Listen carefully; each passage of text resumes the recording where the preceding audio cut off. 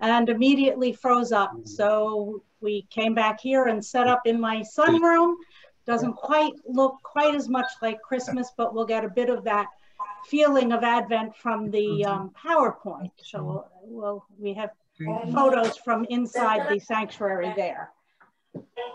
Um, uh, for announcements, I want to point out we're just starting a um, special card ministry to prisoners. This is through the Board of Church and Society of the New York Annual Conference. And so we have printed out cards and given some potential greetings and some basic instructions. And the basic instructions include the fact that when we're sending cards to prisoners, we don't want to put our last names, nor do we want to put our addresses on them. So if you would like to participate in this, we have the cards here out on the front porch. You're welcome to pick up one or uh, several if you'd like. Fill them out and then bring them back here and Alex Edwards Boudre will put them into a manila envelope and ship them off to the conference. We're hoping to do this in the coming week. So we want to mail them by Friday. Uh, so everybody is welcome to do that. Um, if you want to do it and you're not close by and you can't yep. pick up, contact us. We'll send you the link so that you can download the photos yourself. They get sent to Matt Querns. We have passed the deadline. The deadline was December 6th, but I talked to Reverend Querns and he said, absolutely, we want to have the cards so people can still do this even though we're past the official deadline on the website. So contact us if you need more information. Um, going to invite everybody, and I think most everybody is muted, but we invite everybody to mute. There will be a point in the service where I ask you to unmute, but anyone who's had experience with the internet and with Zoom knows that if we're all unmuted and try and talk, it becomes a jumbled mess. So most of the service, you are muted. Um, we invite you to do that and then we follow up by muting you from our uh, home base, so to speak.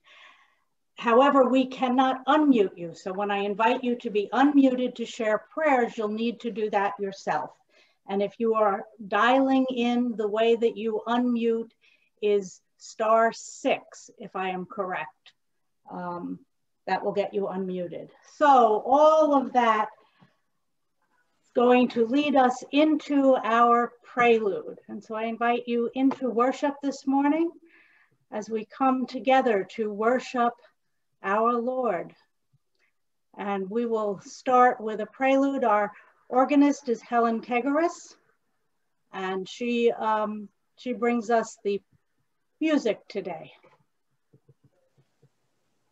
So let us settle in to worship.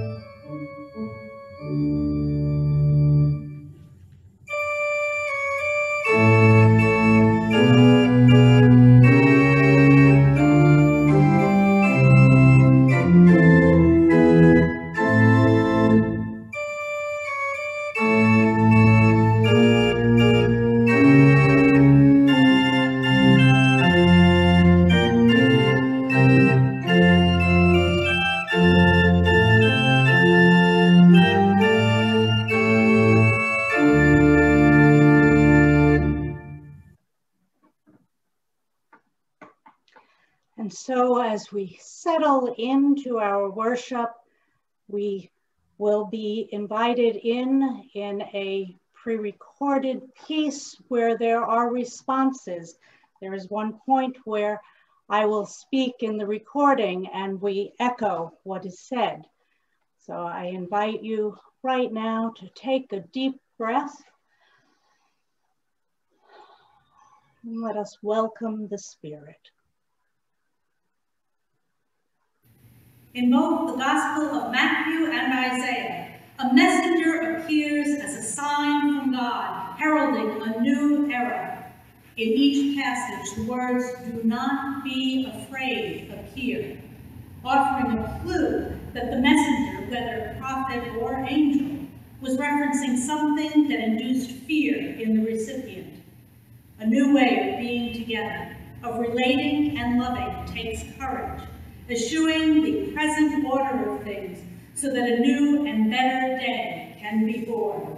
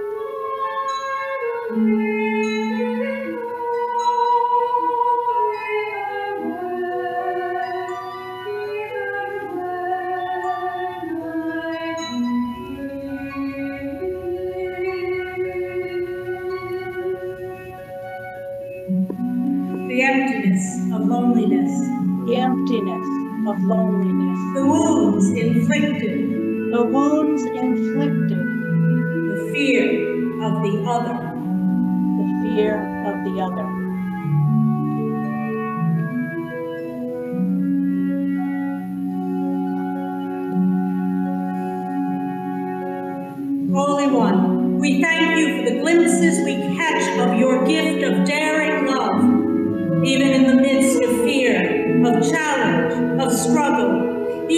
when we cannot yet see a better day, when we will act like the human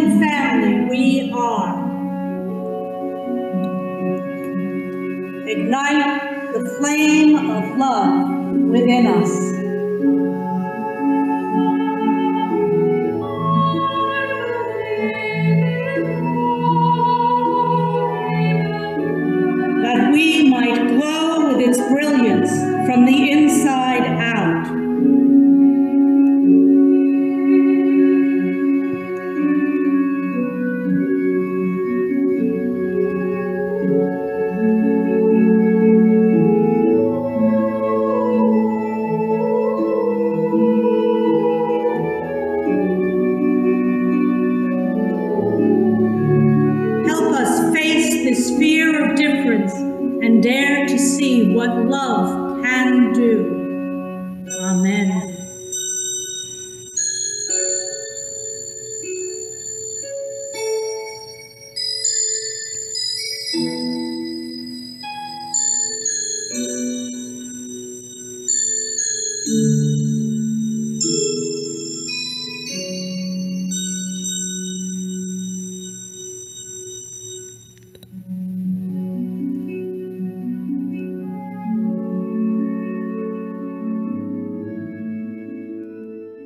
Invite you now, if you have candles in front of you. I have the oil lamp that the United Methodist Churches in this conference were sent by the bishop to remind us how we are connected to each other. So that is lit.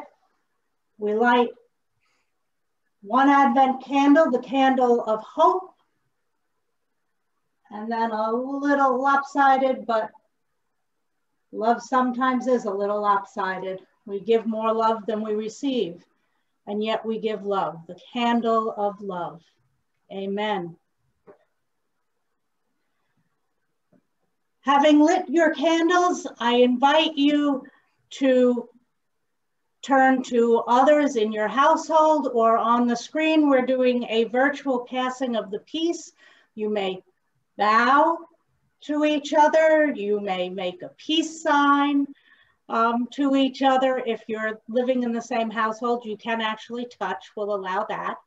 Um, if you're on the phone, know that people are indeed holding you in peaceful blessings at this moment as we greet each other. And again, we are so happy to have enlarged our group by um, joining with West Hills this morning. And so for our children's time for Advent, we have been doing, um, we have started with This Little Light of Mine. We are doing one verse each week and we are doing it in sign, in ASL. Um, so this week we have Ocean Conti is doing it for us.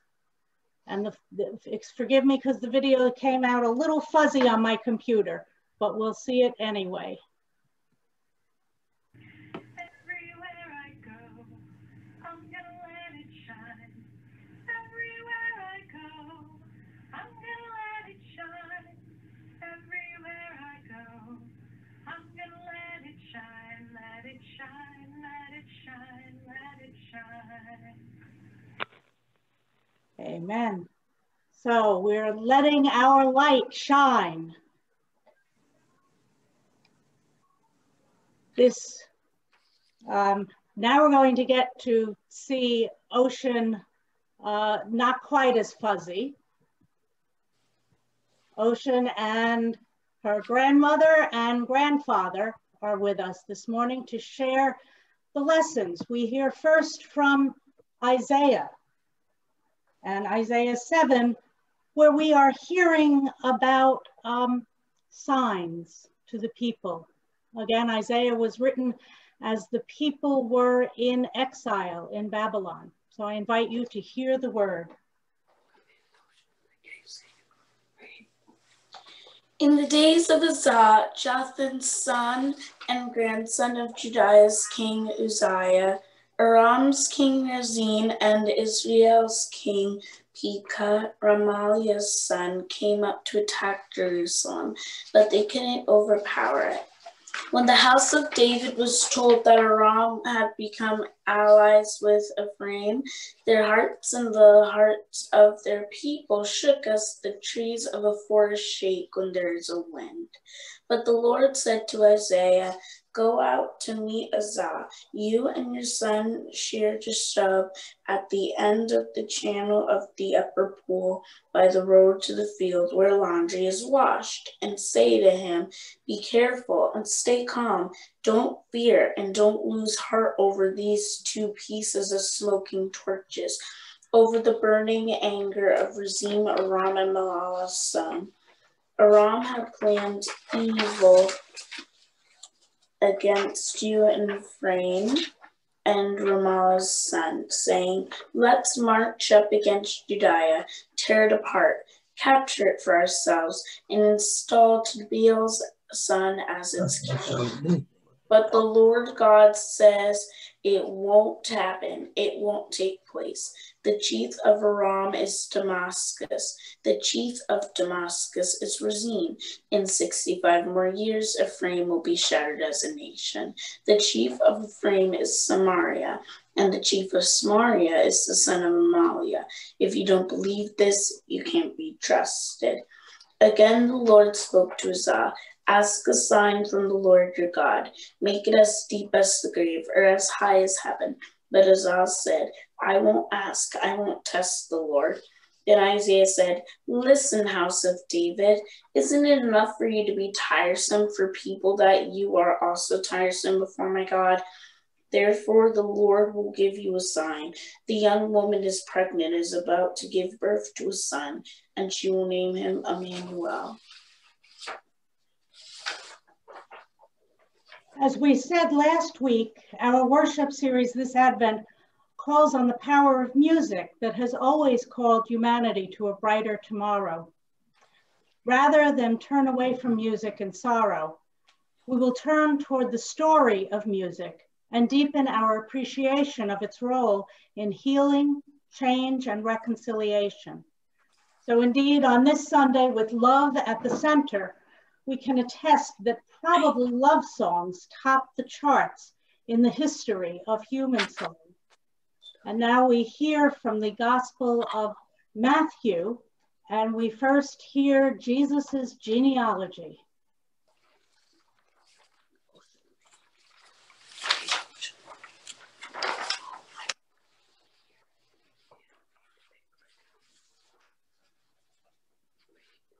Where is uh, Ocean or Joanne or Ken reading? Okay, we hope. Right here, Abraham, Gospel lesson from Matthew, page four.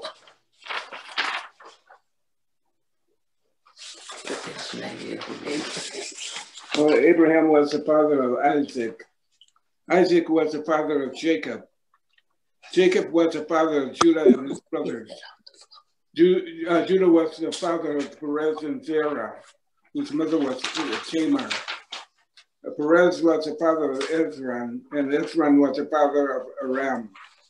Aram was the father of Amminadab, and Amminadab was the father of Nahshon. Nahshon was the father of Salmon. Salmon was the father of Boaz, whose father, whose mother was Rahab. Boaz was the father of Obed, whose mother was Ruth. Obed was the father of Jesse. Jesse was the father of David the king. David was the father of Solomon, whose mother had been the wife of Uriah. Solomon was the father of Rehoboam. Uh, Rehoboam was the father of Abijah. Abijah was the father of Asa. Asa was the father of Jehovashat. Jehovashat was the father of Joram. Joram was the father of Uzziah. Uzziah was the father of Jotham. Jotham was the father of Hazah. Uh, Hazah was the father of Heki, of Hezekiah. Hezekiah was the father of Man of Manasseh. Manasseh was the father of Amos. Amos was the father of Josiah. Josiah was the father of Jeconiah and his brothers. This was at the time of the exile to Babylon. Okay. After the exile to uh, Babylon, Jeconiah was the father of uh, Shealtiel. Shealtiel was the father of Zerubbabel. Zerubbabel was the father of Abiud. Abiud was the father of Eliakim. Eliakim was the father of Azor. Azor was the father of Zadok. Zadok was the father of Achim. Achim was the father of Eliud. Eliud was the father of Eleazar. Eleazar was the father of Matthan. Matthan was the father of Jacob. Jacob was the father of Joseph, the husband of Mary, of whom Jesus was born. It's called the Christ. So there were 14 generations from Abraham to David, 14 generations from David to the exile to Babylon, and 14 generations from the exile to Babylon to the Christ. This is how the birth of Jesus Christ took place. When Mary, his mother, was engaged to Joseph before they were married, she became pregnant by the Holy Spirit. Joseph, her husband, was a righteous man because he didn't want to humiliate her. He decided to call off their engagement quietly. As he was thinking about this, an angel from the Lord appeared to him in a dream and said, Joseph, son of David, don't be afraid to take Mary as your wife because the child she carries was conceived by the Holy Spirit. She will give birth to a son, and you will call him Jesus. Because he was saved, he will save his people from their sins. Now, all of this took place so that what the Lord had spoken through the prophet would be fulfilled. Look, a virgin will come, will become pregnant and give birth to a son, and they will call him Emmanuel. Emmanuel means God's God with us. When Joseph woke up, he did just as an angel from God commanded and took Mary as his wife. But he didn't have sexual relationships with her until she gave birth to a son. Joseph called him Jesus. Amen. So this Sunday, our readings talk of signs, signs of God's love, God's presence, and also of God's challenge to us to get love right. Now, the idea of signs may not sit well on everybody's ears. Some folks today believe in signs and some say, yeah, that's just that Old Testament stuff. That, that has no place in our life. But if we look at the signs, first of all, they were important to the ancient people. But if we look at them as symbols, then it might read more, um, it may have a fuller meaning to us if we think of them as symbols. Intangible things that, um, or tangible things pointing to something beyond themselves. Our children's time, Ocean signed the song. So even if you don't have ears to hear, you have eyes to see. And in fact, last night, uh, Glenn and I watched Beyond the Sea, the biopic on, pseudo biopic on Bobby Darin. And he talks about, um, at one point, as he's trying to transition his music, people hear what they see. And so that signs help us to see. The sign in the Isaiah passage is a child. Children were often signs in the Hebrews texts, and we can see the child as future generations. This is the future, and the future is Emmanuel, God with us. Now, last week we started with the opening chapter of Mark. Mark is sort of fast and furious. Mark skips everything, gets right to the point um, sort of an action packed. And it sounds like it was uh, maybe meant for the Instagram crowd. It's short and sweet and to the point, gives us a point and moves on quickly. This week, Matthew, Matthew is talking to people that are steeped in their Bible. And so Matthew um, is helping people to place this story within their history. That whole long genealogy is a placing of Jesus within the history of the chosen people of God. This is not someone just coming out of the blue. This is somebody who has history in our life, in our culture. He has roots. And therefore, this is a sign. Um, Matthew connects him not only with the people, but we hear even in Matthew's genealogy a bit of that history as he talks about the exile to Babylon. He talks, he includes that in there to remind people um, that this is in the midst of our history. Here we see the struggles connected to the present and connected to the future. So Joseph finds out that Mary is pregnant and he's ready to walk away. But Joseph gets a sign, an angel that speaks to him and says, we're working toward the future here. Don't put Mary aside. Don't walk out of this picture because you are part of that story. Love her, love the child, love what might be and will be. The only way for us in the midst of darkness as well as in the midst of light, the only way for us to move forward is to love the future, to embrace the future, to look for the signs that things are changing, to look for the signs of how God is working, even here, even now, in the midst of this pandemic, in the midst of all that we are experiencing.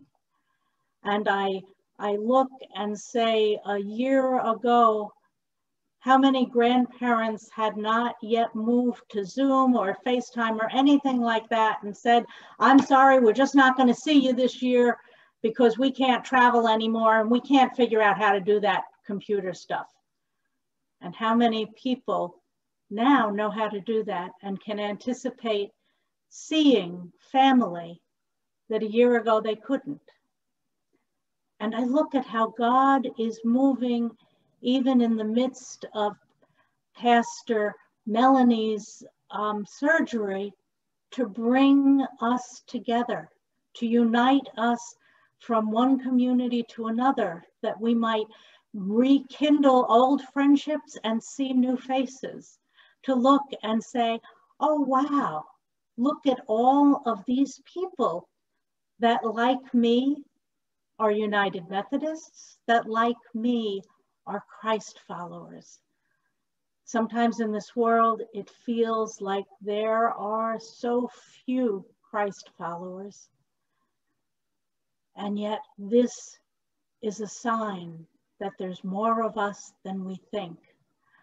Not the people that like to go on TV and get their names in the paper declaring, I'm a Christian, and therefore you must do it my way.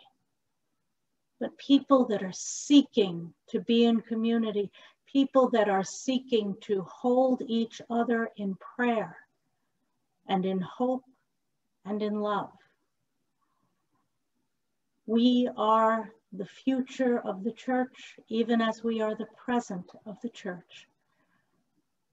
And God is coming among us if we have eyes to see. Amen. I invite you, we are going to join in the litany of belief. Um, I will start us a bit and then we have a responsive reading and we're not on, on asking you to unmute for this part yet. Um, so again, you'll, you'll, be, you'll be talking but not hearing anybody other than Glenn and me. So in times when humanity disappoints, perhaps even when our own thoughts and behaviors disappoint, it is an important act to call out, name, and claim the consequences of our wrongs. And in times of distress, it is a prophetic act to call out, name, and claim our belief that daring to love each other as God loves us is a faithful response. Hear these statements of belief.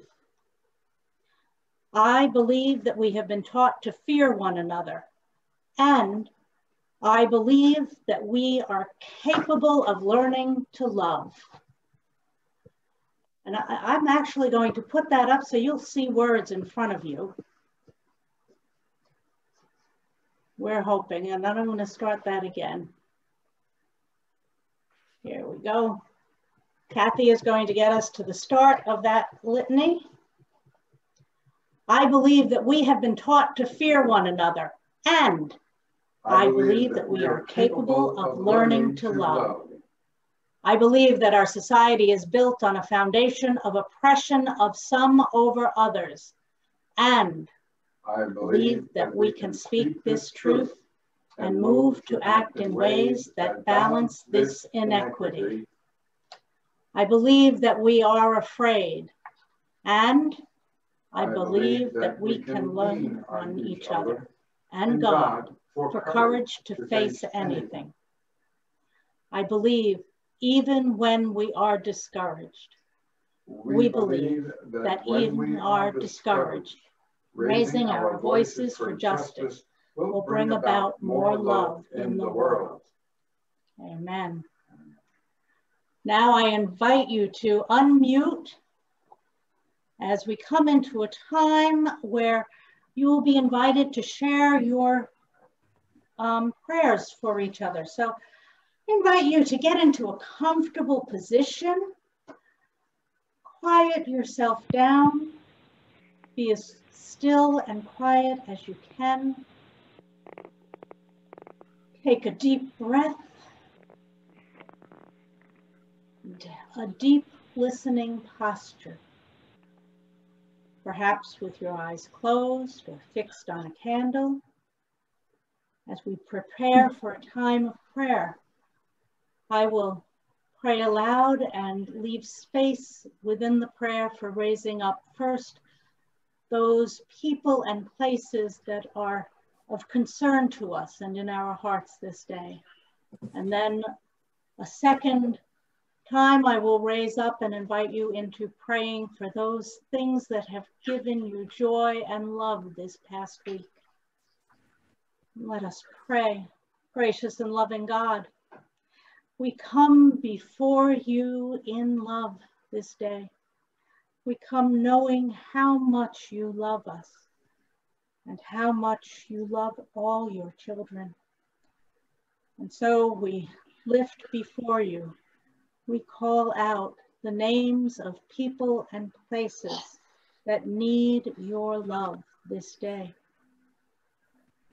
I invite you to um, just call out.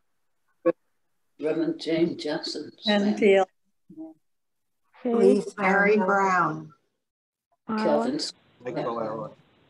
Eric. Karen Zerpeli. Ryan. Roland Gates fan. Shireen. Andrew Gordon. Schreiber. My family. Jeanette. Jennifer Pasco.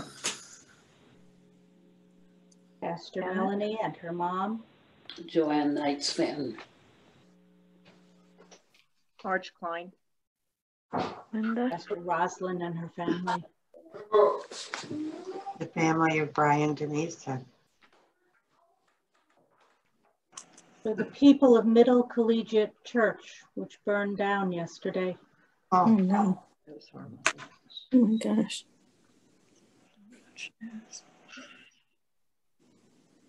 For all those hit by the storm, the northeaster that passed through New England. For all those who are mm-hmm. suffering from power outage. All of our children and their schoolmates and the school systems all over the world. The homeless and the hungry. Yes, Lord.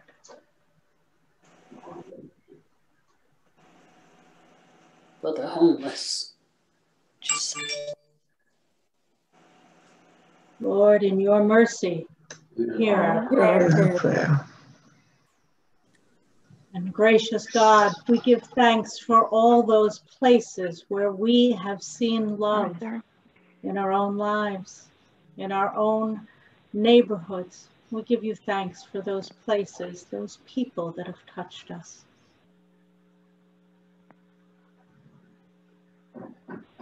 Safe arrival of Mary. Never stops looking for me. My friend Helen Vickers.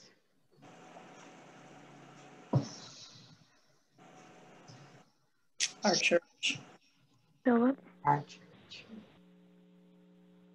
for nurses and doctors and other first responders. And all the essential service people. The grocery people.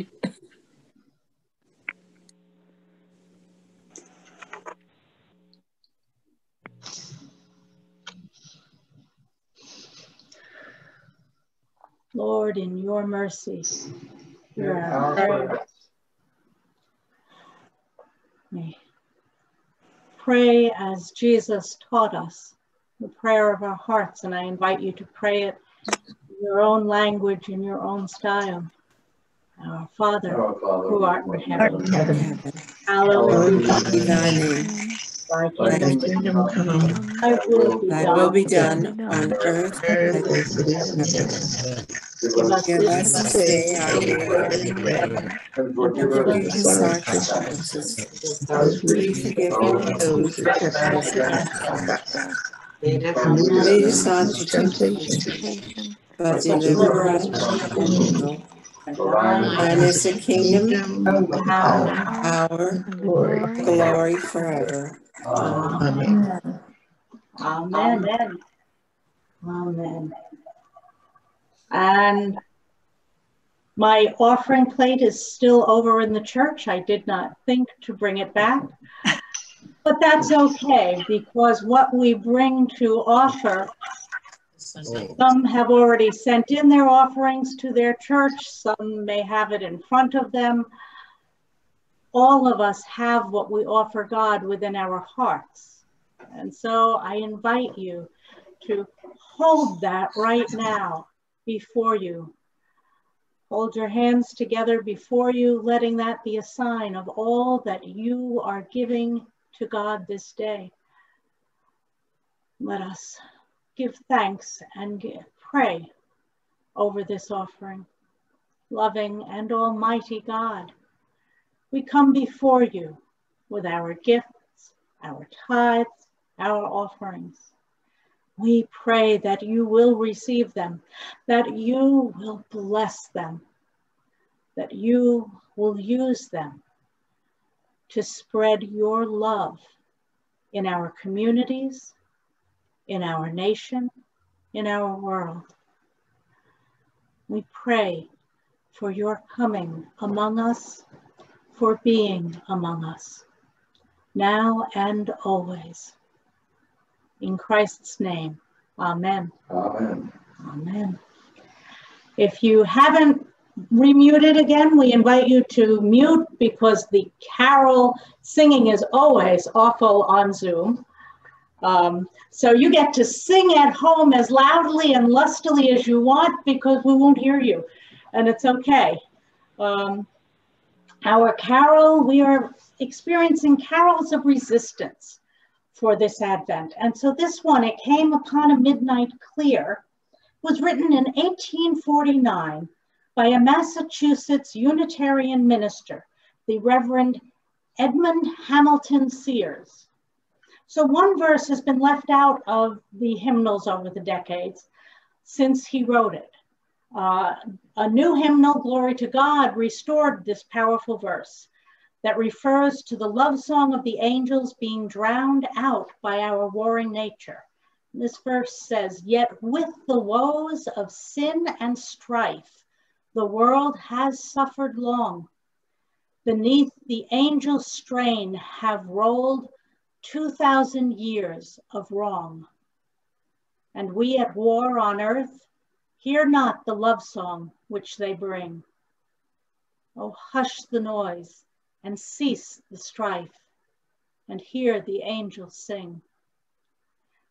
So we've restored that verse to our singing. It will be our third verse this day. Let us be reminded that we are to listen to the angel chorus and then join it, raising our voices with the message that love, not hate, is the answer. So I invite you to join in the singing of It Came Upon a Midnight Clear.